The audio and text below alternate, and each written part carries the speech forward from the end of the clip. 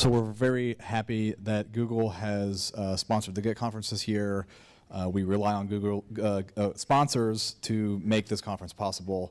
And so please help me welcome Jonathan Bingham from Google.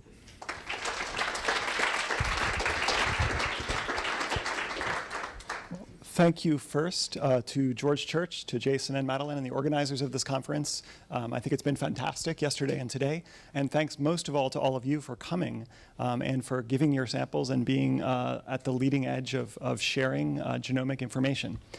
Um, so in Google Genomics, um, we're interested in kind of the, the nexus of life sciences and data science.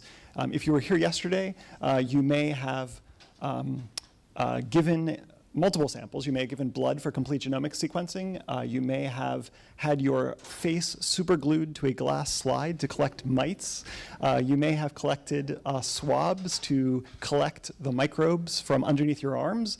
And you may have collected another swab to take back with you to your hotel room um, for a gut microbiome sample. So you know that collecting life science information um, is relatively easy if you, you participate in studies and come to conferences. Making sense of it, if you tried to look at the data that comes out of that can be quite a bit more difficult.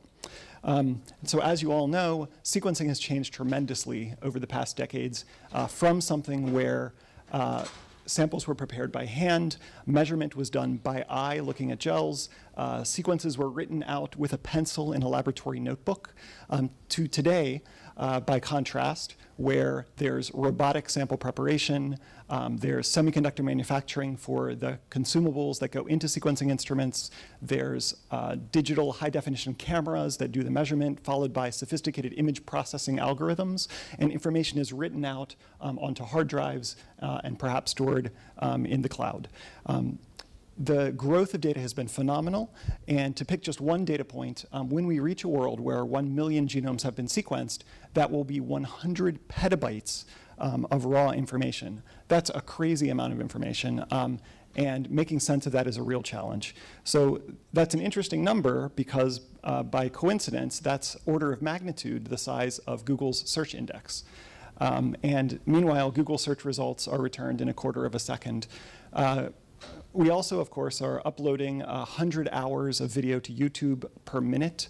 Uh, there are 500 million Gmail accounts. Uh, there's Google Maps, which has uh, detailed information, even at the street level, um, from a lot of the planet. Um, so definitely Google has some expertise with data science. Um, bioinformatics has advanced tremendously as well from the early days where multiple sequence alignments were done by hand um, to some great algorithms that have been developed, things like uh, the revelation of dynamic programming, that you can have a computer do a sequence alignment to match them, uh, things like hidden Markov models to find genes, uh, and more recently, things like De Bruijn graphs to do genome assemblies. So there have been tremendous advancement, advances, and Google's interested in bringing these things together. So the question is how?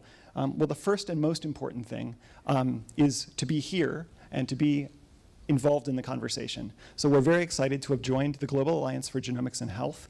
Uh, this is an, a, a, consortium of over 150 organizations. It's research hospitals, it's universities, it's patient advocacy groups, it's public health.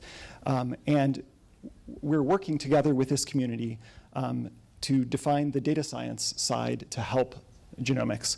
This includes things like a programming interface that will allow for interoperability. So that data, whether it's living in the cloud or on a local data center, can work with the same tools. And tools that are written to use a common interface uh, can, can access this data and interoperate. Um, we are hosting data from the Thousand Genomes Project and also the public data that you have all shared um, for the Personal Genome Project. We also have put together a series of open source examples um, using these interfaces to work with the data. So just first, uh, here's where you can go to look at what we're working on, developers.google.com slash genomics. We also have a GitHub repository where there's open source um, code showing examples in languages like Java and Python and R, um, also using some algorithms like MapReduce for distributed computing to work with it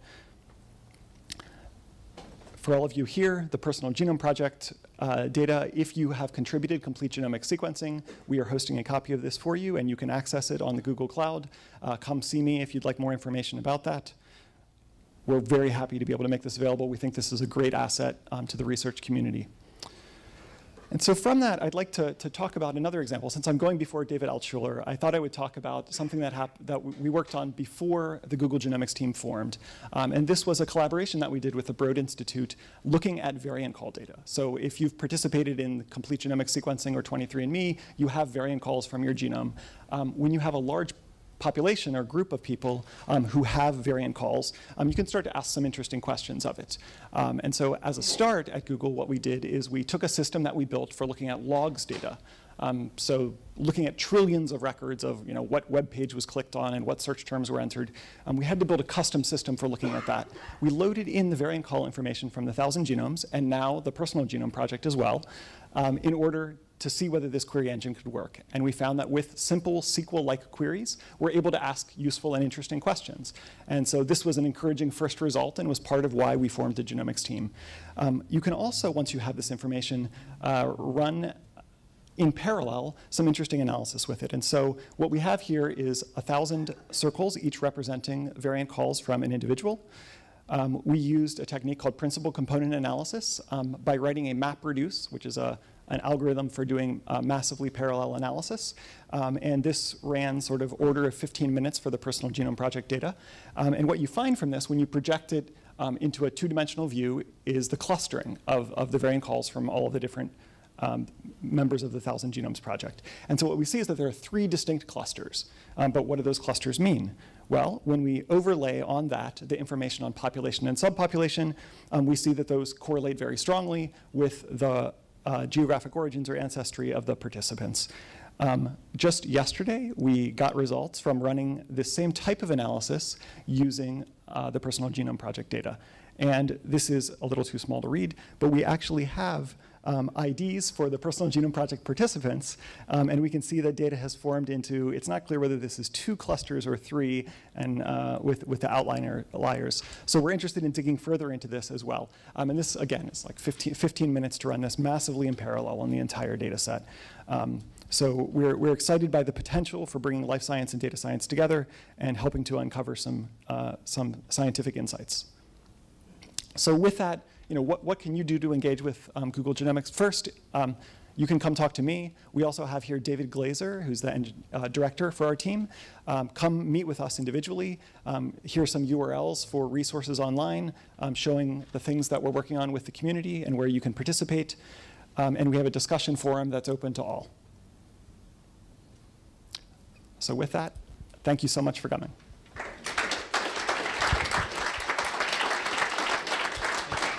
I can actually close the slides because David Altshuler is going commando style with no slides. It's first, it's first one all day. It's amazing.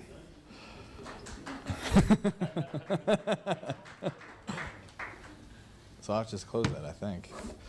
Introducing David is Personal Genome Project staff member Michael Chow. Thanks, Jason. Hi. Thanks, Jason. Um, so yes, uh, Mike Chow. I'm um, Director of Human Subjects Research for the Personal Genome Project, and I should now say the Harvard Personal Genome Project, which is uh, nice to say because we have now have multiple PGPs around the world. Um, it's my pleasure to introduce David today. Um, David is a, an endocrinologist and a geneticist at MGH, and he's a founding core member of the Broad Institute, um, where he established and runs the Medical Population Genomics Program, and Genetics Program, sorry. Um, David's been uh, critical uh, in many projects uh, that you're all familiar with, and we just heard a little bit about, um, uh, notably the SNP Consortium, the HapMap project, the Thousand Genomes project, and he's been involved in dozens of GWAS studies. Um, one theme of David's research has been um, international and collaborative um, projects, and they're always inclusive. And recently, David was recognized by the White House. Is that me? Must be.